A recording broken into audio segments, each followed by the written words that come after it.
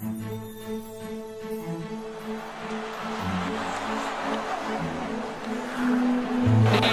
on the ice with a Ginlop. A Ginlop.